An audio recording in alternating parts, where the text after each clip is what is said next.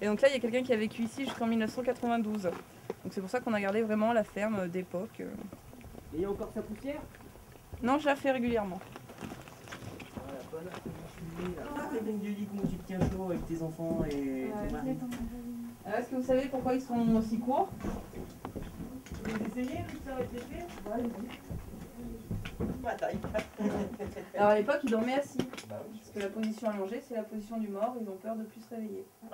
Ça, ça a duré pendant des siècles. Dans les châteaux forts à Versailles, il y a toujours des lits courts. Et là, ils étaient trois, il y avait trois enfants là-dedans.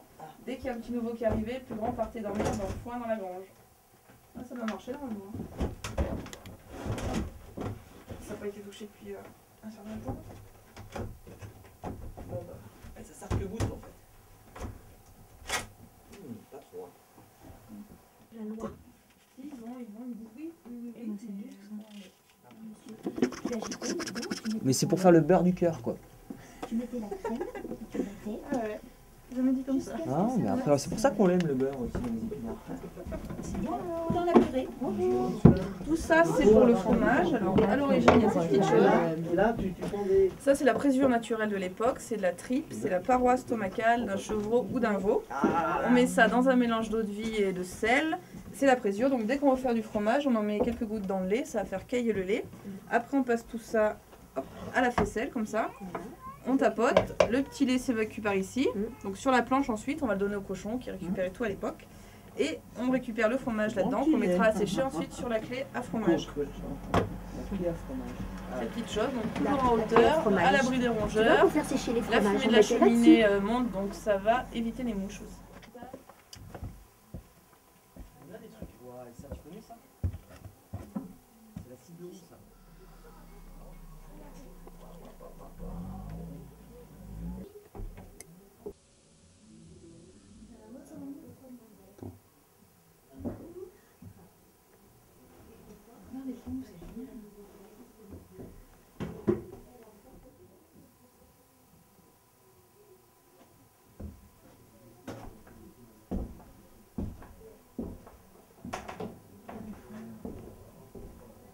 Il y a la presse, comme ça.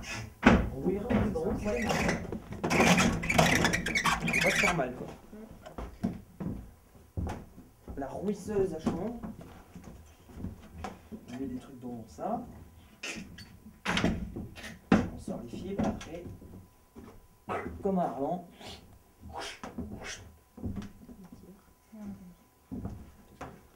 Des abat-jours, euh, des gourdes, des ballons pour les enfants et on conservait le saindoux à l'intérieur. C'est ça c'est un bout de, de gras qu'on utilisait pour euh, euh, graisser les scies. Alors d'un côté, il y a le saloir pour préparer le, le cochon et, et en face, c'est le grenier.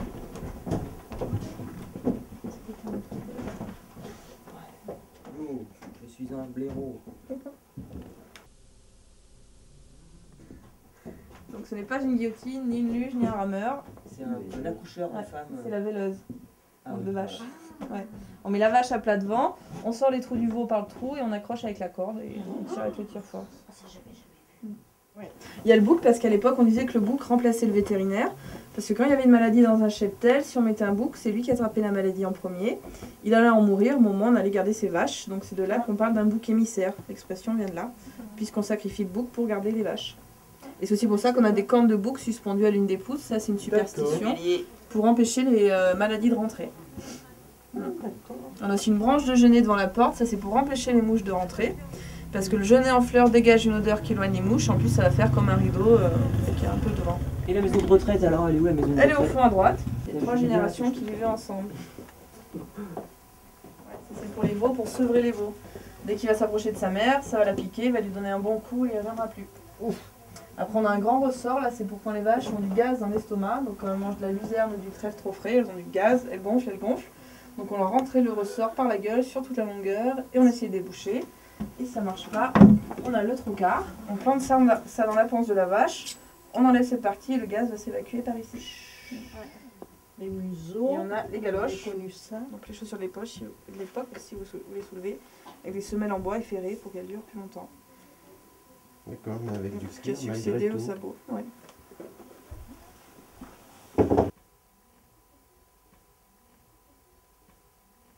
Et là, c'est des exemples de bétalia bouchée. Donc la plus vieille à gauche, euh, tirée par des animaux, et à droite, une Citroën B2 1925, transformée en bétalia. Et alors ici, quand il y avait trop de verglas, qu'on pouvait pas creuser de fosse dans le cimetière, on entreposait le corps du défunt sur le toit de la maison en attendant le dégel. Et ça, on l'a fait même pendant la Seconde Guerre mondiale à